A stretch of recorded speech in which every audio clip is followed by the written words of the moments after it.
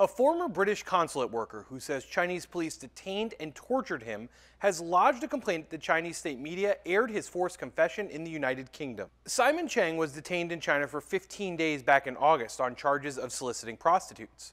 But Cheng said earlier this month he's innocent and that during those 15 days he was physically and mentally tortured for information about the UK's role in Hong Kong's anti government protests. China has denied his accusation and state media aired this video.